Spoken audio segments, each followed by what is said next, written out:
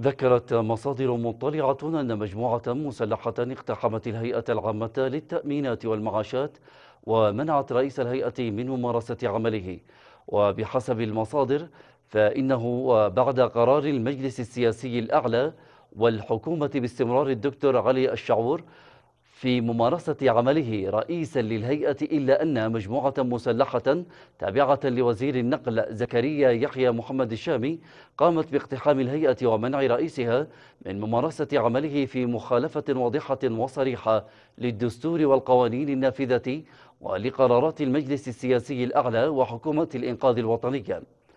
الجدير بالذكر أن القرار الذي كان أصدره طلال عقلان وزير الخدمة المدنية والتأمينات بتعيين رئيس جديد للهيئة يعد مخالفة صريحة وصريحة للدستور والقوانين النافذة وتحديا واضحا لاتفاق الشراكة والتحالف الموقع بين كل من المؤتمر الشعبي العام وحلفائه وأنصار الله وحلفائهم.